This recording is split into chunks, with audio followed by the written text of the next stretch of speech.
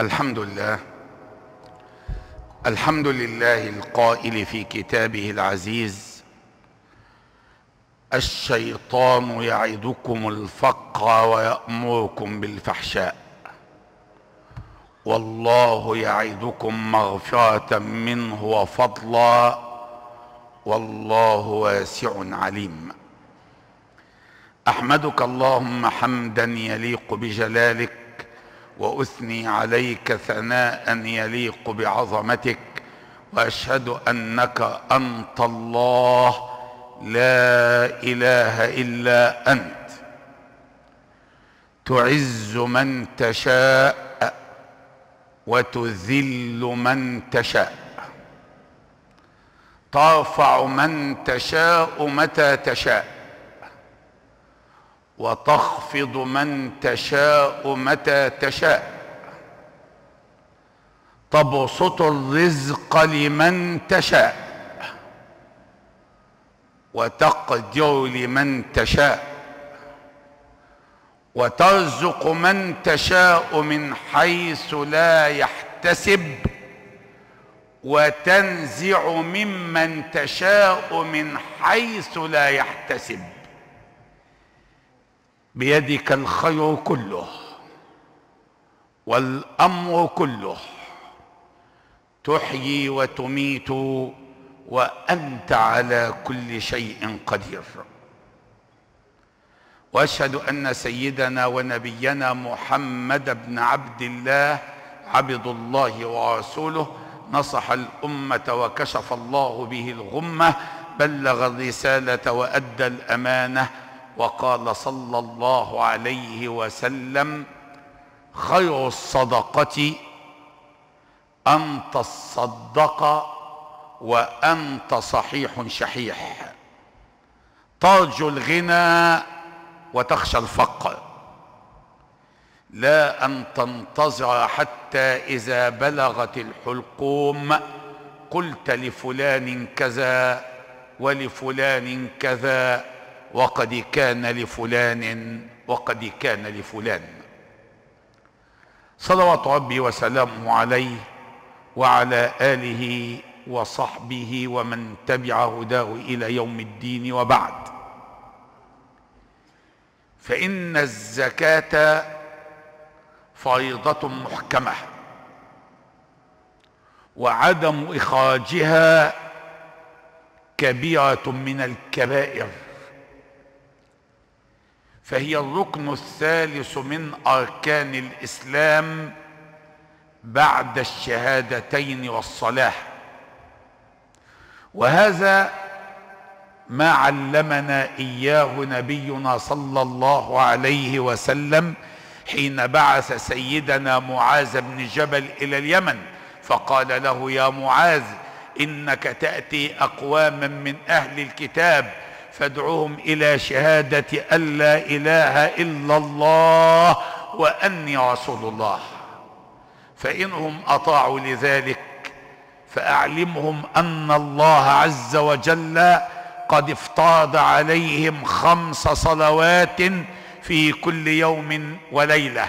فانهم أطاعوا لذلك فأعلمهم أن الله عز وجل قد فرض عليهم صدقة تؤخذ من أغنيائهم فترد في فقرائهم. فانهم أطاعوا لذلك فإياك وكرائم أموالهم وإياك ودعوة المظلوم. وحذر القرآن الكريم تحذيرا واضحا بينا من كنز المال وعدم إخراج زكاته والوفاء بحقه. فقال سبحانه والذين يكنزون الذهب والفضة ولا ينفقونها في سبيل الله فبشرهم بعذاب أليم. يوم يحمى عليها في نار جهنم فتكوى بها جباههم وجنوبهم وظهورهم. هذا ما كنزتم لأنفسكم فذوقوا فذوقوا ما كنتم تكنزون. ها أنتم هؤلاء تدعون لتنفقوا في سبيل الله. فمنكم من يبخل؟ ومن يبخل؟ فإنما يبخل عن نفسه. والله الغني. وأنتم الفقراء. وإن تتولوا يستبدل قوما غيركم. ثم لا يكونوا أمثالكم. وعلى الجانب الآخر مع أنك تنفق من مال الله حيث يقول سبحانه وآتوهم من مال الله الذي آتاكم وأنفقوا مما جعلكم مستخلفين فيه. فالمال مال الله وأنت مستخلف. والأيام دول يوم لك ويوم عليك. يقول الشاعر الناس للناس الناس للناس ما دام الوفاء بهم والعسر واليسر ساعات وأوقات. لا تقطعن لا تقطعن يد المعروف عن أحد. ما دمت تقدر. والأيام طاعات دول. ألم تر أن الفقر يرجى له الغنى وأن الغنى يخشى عليه من الفقر. فغني اليوم قد يكون فقير الغد وفقير اليوم قد يكون غني الغد. وتلك الأيام نداولها بين الناس. لا تقطعن يد المعروف عن أحد. ما دمت تقدر والأيام ترات. واذكر صنيعة فضل الله أن جعلت إليك. لا لك عند الناس حاجات. كم مات قوم وما ماتت فضائلهم. وعاش قوم وهم في الناس أموات. ومع ذلك رتب القرآن الكريم والشرع الحنيف الثواب العظيم على الإنفاق من المال الذي هو مال الله. فقال سبحانه إن المتقين في جنات وعيون آخذين ما آتاهم ربهم إنهم كانوا قبل ذلك محسنين. كانوا قليلا من الليل ما يهجعون وبالأسحار هم يستغفرون. وفي أموالهم حق للسائل والمحروم. وفي سوره المعارج وفي أموالهم حق معلوم واضح وثابت هو نصاب الزكاة للسائل والمحروم. ويقول سبحانه تتجافى جنوبهم عن المضاجع يدعون ربهم خوفا وطمعا ومما رزقناهم ينفقون. فلا تعلم نفس ما أخفي لهم من قرة أعين جزاء بما كانوا يعملون. نسأل الله أن نكون منهم. توبوا إلى الله واسألوه العفو والعافية.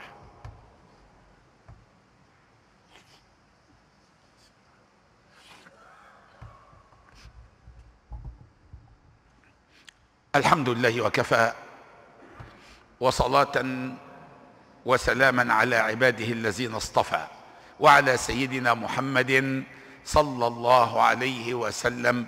وآله وصحبه ومن اهتدى.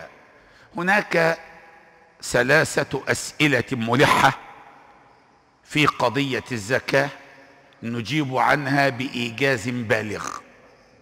السؤال الأول هل في المال حق سوى الزكاة؟ بمعنى أن الإنسان إذا أخرج الزكاة هل بقي عليه حق آخر؟ نعم. في في الصدقات وفروض الكفايات. ألم يقل نبينا صلى الله عليه وسلم ما آمن بي ما آمن بي من بات شبعان وجاره جائع وهو يعلم. فإطعام الجائع وكساء العاري ومداواة المريض من فروض الكفايات حتى لو كانت من الصدقات الزائدة على الزكاة. ففي المال حق سوى الزكاة وهو الوفاء بحق المحتاجين وتفكيك كرب المكروبين. السؤال الثاني هل يجوز إخراج الزكاة لعلاج الفقراء أو توفير اللقاح أو التحصينات لهم أو لأبنائهم؟ سواء في كورونا أم في غيرها. نعم وهو من أولى الأولويات في الزكاة. في مقدمة الأصناف المستحقة للزكاة بدأ القرآن الكريم بالفقراء والمساكين فقال سبحانه إنما الصدقات للفقراء والمساكين. والآية هنا كانت تتحدث عن الصدقات الواجبة التي هي الزكاة. وبما أن الفقراء هم في مقدمة مستحق الزكاة فعلاجهم أولى لأن دفع المرض أهم من دفع الجوع. علاج المريض علاج الفقراء من أولى الأولويات في الزكاة. هل يجوز أن يكون ذلك في شكل لقاح ايا كان نوع هذا اللقاح لتحصين أبناء الفقراء أو الفقراء من المرض؟ نعم لأن دفع المرض أولى من علاجه. اذا يجوز إخراج الزكاة لعلاج الفقراء أو لتوفير اللقاح لهم وهو من أولى أولويات الزكاة. السؤال الثالث والأخير. هل يجوز تعجيل الزكاة عن وقتها؟ أي أن يخرج الغني الزكاة قبل أن يحول عليه الحول؟ نعم يجوز وهذا دليل على سماحة نفسه وعلى كرمه مع الله ومع الخلق ومع نفسه بل نؤكد أن تعجيل الزكاة في أوقات النوازل والكروب والجوائح والأزمات مستحب. لا نقول فقط يجوز تعجيل الزكاة بل يستحب تعجيل الزكاة لتفريج كروب المكروبين في أوقات الأزمات. فمن سمحت نفسه وجادت نفسه أن يفرج الكروب من الصدقات ومن باب فروض الكفايات فهذا فضل الله عليه. وإن لم تسمح نفسه وإن لم تسمح نفسه جاز بل يستحب له أن يعجل بالزكاة في أوقات الكروب. فإن لم يتراحم الناس الآن فمتى يتراحمون؟ إذا لم يتراحم الناس في أوقات المحن والشدائد والنوازل والجوائح والكروب فمتى يتراحمون؟ ومن لم يتعظ الآن بتخطف الموت من حوله من الأهل والأصدقاء والأحباب والمعارف والزملاء فمتى يتعظ؟ وختاما ومن هنا من المسجد الجامع بمدينة اسوان الطيبة والطيب أهلها نهنئ أهالي اسوان بعيدهم القومي ونؤكد أن ما لمسناه من نهضة وبناء مستمر حتى في أصعب الظروف والأوقات يؤكد أن مصر محفوظة بحفظ الله عز وجل وأنها مع كل الصعوبات الاقتصادية التي تحيط بالعالم كله تبني وتعمر ففي كل يوم في كل يوم تطالعنا الدولة المصرية ببناء جديد. وأينما حللت من أقصى الشمال إلى أقصى الجنوب ومن أقصى الشرق إلى أقصى الغرب تجد دولة حديثة تبنى. نسأل الله العلي العظيم أن يحفظ مصر وأهلها من كل سوء. اللهم احفظ مصر وأهلها من كل سوء. اللهم اجعل رزق أهلها واسعا في البر والبحر والسهل والجبل يا رب العالمين. اللهم عجل برفع البلاء عن البلاد والعباد. اللهم عجل برفع البلاء وكشف الضر عن البلاد والعباد عن مصرنا وسائر بلاد العالمين. اللهم لا تجعل فينا ولا لنا ولا بيننا مريضا إلا شفيته ولا هما إلا فرجته ولا دينا إلا سددته ولا حاجة من حوائج الدنيا والآخرة. لك فيها رضا ولنا فيها صلاح. إلا قضيتها ويسرت امرها يا رب العالمين. وصل اللهم وسلم على سيدنا محمد وآله وصحبه وسلم. ويا عبد الله أقم الصلاة. إن الصلاة كانت على المؤمنين كتابا موقوتا.